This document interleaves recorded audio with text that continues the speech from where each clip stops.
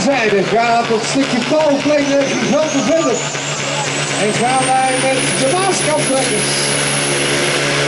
Boven die fleshoogte, dat is ideaal.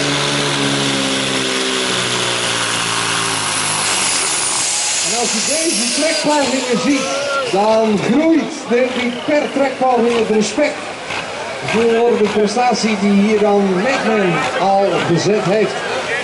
Want die 120 meter maximale baallengte, ja, daar komen dus een heel eind van huis gaan worden aan VTM-zijde. Maar 108 meter voor Madman Next Generation ten opzichte van 72 voor White.